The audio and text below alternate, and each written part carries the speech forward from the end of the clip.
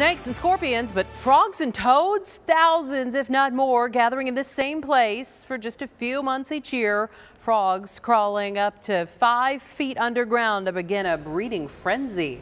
Only on ABC 15, John Genovese tagging along with game and fish experts tonight. They're at a secret location to witness this monsoon emergence firsthand. It's just such a unique spot. A spot that had us scaling rough roads just to reach. Game and fish biologists letting us load up in their trucks and tag along to a place outside the valley. It didn't take long to spot our first creepy crawler, but after spraying on a heavy coat of bug repellent, This is one of the breeding ponds. our sights were on a different set of critters. This is a burrowing tree frog. Their adults are typically brown, but when they're juveniles, they're green like this. Amphibians big and small emerging for just three months a year. The idea is that when the first big thunderstorms hit the area, the thunder rumbles through the area for big, heavy, severe storms, and it vibrates the ground. And that's the signal to the toads and frogs that are buried underground that it's time to start working their way back up.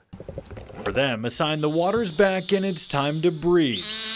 Each letting off a special call. So some sound like uh, electric buzzers, some uh, have a, a trill type call, other ones have a whirring or even a call that might sound uh, at a distance like a scream. As the sun sets, Holy moly! Pretty much got his adult coloration. there were plenty more things to see. It's got a little toad face compared to the other things that we've looked at so far, like a little grumpy old man. This is truly a special place for researchers and biologists, one of the only spots in Arizona where they can find seven different species of frogs and toads. And one of the reasons why Game and Fish has been coming here and collecting data for close to 30 years. Toward the end of the night, we learned another lesson on watching our step. Because for experts, what's most important is letting these wild things roam free. I have to admit, one of the reasons I come down here is it's fun. I just enjoy seeing them. John Genovese, ABC 15, Arizona.